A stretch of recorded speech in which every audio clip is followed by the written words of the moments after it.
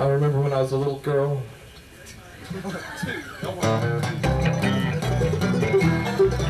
I was driving down the interstate to Winslow, Arizona. I had seven vices on my mind.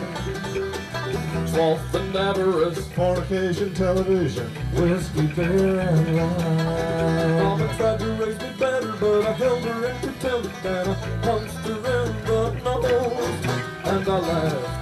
that I broke the heart of my San Antonio rose.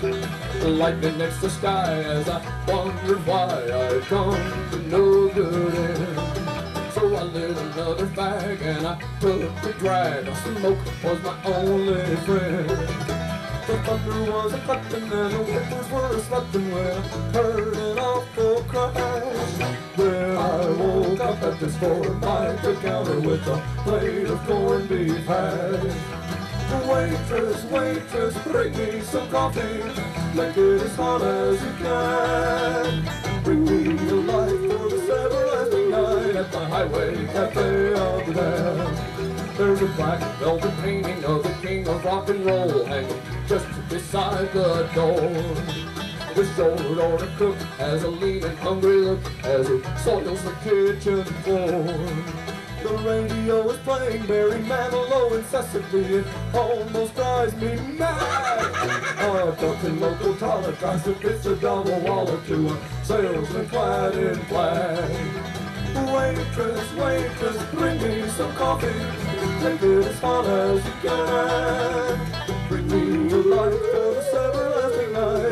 Highway Cafe of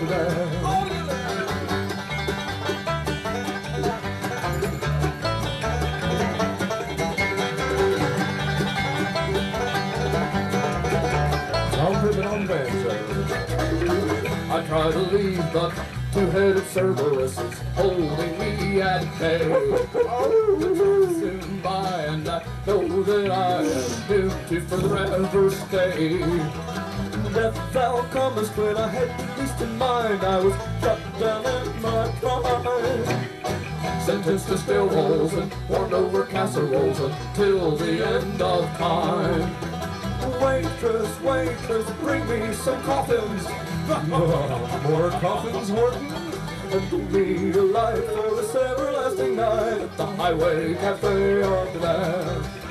Waitress, waitress, bring me some coffee. I know he's your kind of man. And bring me a light for this everlasting night at the Highway Cafe of the